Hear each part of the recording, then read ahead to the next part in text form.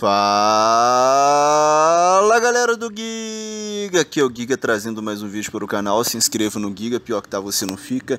E hoje eles trago mais um teste gamer do Ryzen 3 2200G sem placa de vídeo em estoque, tá? O Dual de 8, 4 mais 4 operando em 2400 e o vídeo de hoje que eles trago, voltando a aparecer novamente o Rainbow Six Siege e agora testando em Vulkan. A gente testou semana passada em DirectX 11 e agora a gente, a pedido de inscritos até, a gente tenta fazer em Vulkan para ver se a gente vai ter alguma diferença e alguma escalonada de performance. Beleza pessoal, então vou embora para o vídeo, a gente vai testar esse jogo em 720p no seu preset baixo padrão, porque a gente quer realmente um perfil competitivo para esse game, beleza? Está aí para vocês, eu zerei as, as médias, e assim, de cara eu vou, vou dizer a vocês o seguinte, cara, minha experiência, olha lá, olha, ele travou, deu stuttering, eu, agora que ele ativou o zeramento das médias, a gente está fazendo bastante quadros, ó, mas olha, olha as travadas, olha os stutterings, tá vendo? Não tá legal, cara, eu não tive uma experiência boa com o Vulcan, não.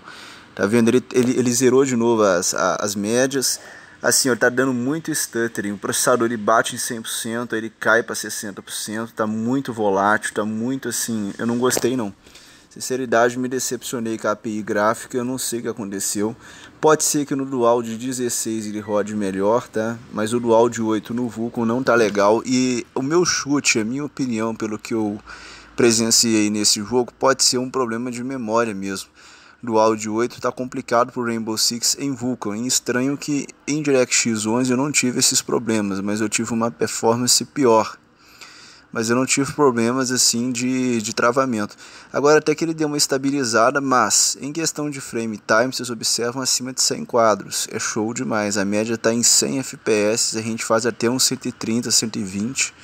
Ele fica muito ali na casa dos 110 a 120 quadros mas eu não gostei da estabilidade. E assim, cara, você jogar um jogo competitivo, ele tem que estar tá liso, ele tem que estar tá fluido, porque senão não dá para ser feliz, não dá para você brincar. É complicado, cara. Eu realmente me decepcionei com o desempenho que eu tive. Agora, eu posso tentar fazer esse teste de novo. Eu tentei durante dois dias e eu não consegui é, trazer um teste que eu gostaria de trazer para vocês. Eu fiquei um pouco frustrado, tá? E olha que não tinha nada aberto no meu PC, como eu faço os testes, atualizo o driver e assim, cara, não tava show. Tava dando umas travadas, mas assim, agora parou.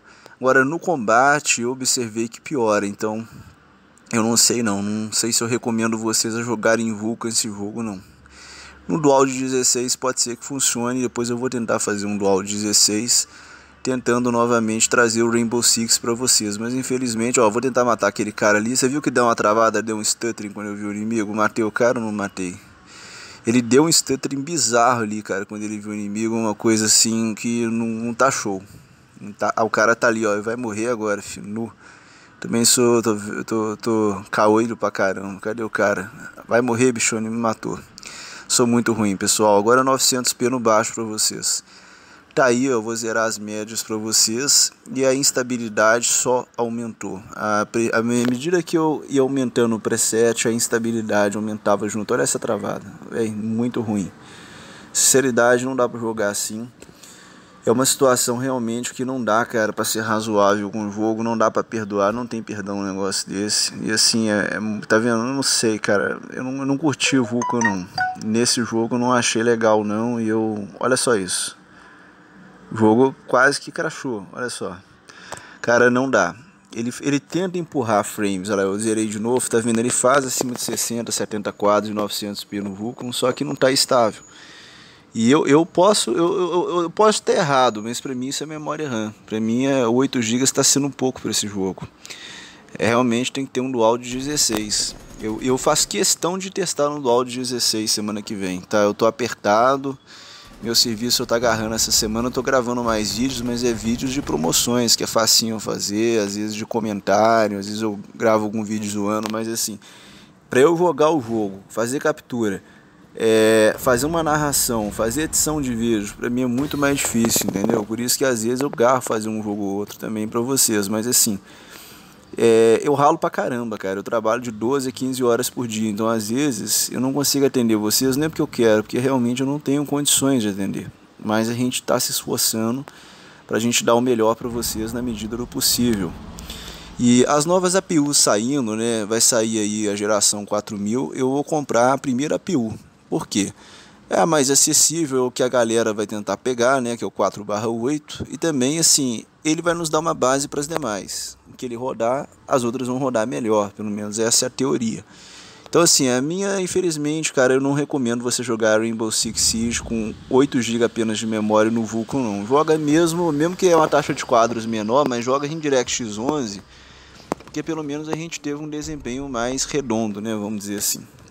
Bom, o resultado está na tela para vocês. Vocês observaram que a gente tentou fazer primeiro baixo 720p, mirando um cenário competitivo. E a gente teve em 720 uma mínima de 34, uma máxima de 131 quadros, a média de 108 e foi uma taxa de quadros bem decente, bem interessante, mas muita travada, muito stuttering. Eu não recomendo jogar assim, porque no momento realmente que você precisar do jogo, ele pode te deixar na mão.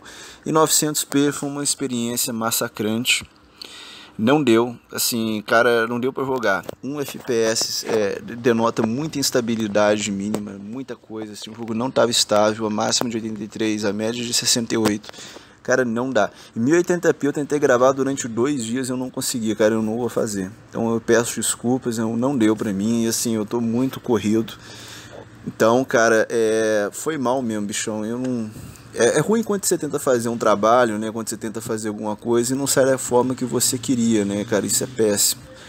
Mas assim, é melhor eu, eu falar real com vocês, cara. Assim, para mim esse jogo no Vulcan para 8 GB não dá. 16 GB eu vou fazer um teste pra gente ver, tá? Semana que vem. Eu tô muito apertado por enquanto, mas eu quero testar ele com 16 em dual para ver o que, que vai acontecer realmente o desempenho que pelo menos eu consegui ter aqui não tá legal não. Quem conseguiu ter um desempenho melhor, coloca na descrição. Quem que rodou esse jogo em Vulkan, como é que vocês rodaram? Vocês rodaram em 1080p, velho? Porque para mim foi bizarro. E quando a gente compara o que a gente teve em DirectX 11, veja bem, a gente teve ali uma média em 720p de quase 110 quadros, e a gente teve uma média de 73 em DirectX 11. Realmente é um ganho absurdo, só que não teve estabilidade. Em 900p, a gente teve essa média aí de quase 70 quadros, a gente tinha tiro de 63, então não faz sentido. 720 escalonou bem, 900 não. Em 1080 eu nem consegui testar, cara. Então, assim, eu me decepcionei, cara. Eu esperava mais o resultado, né? Mas é isso aí, bichão. Eu deixo né, o critério a vocês. Depois eu vou fazer o Dual 16 para a gente finalizar o Rainbow Six Siege, beleza? Tudo de bom sempre. Deus abençoe. E até a próxima, pessoal. Valeu.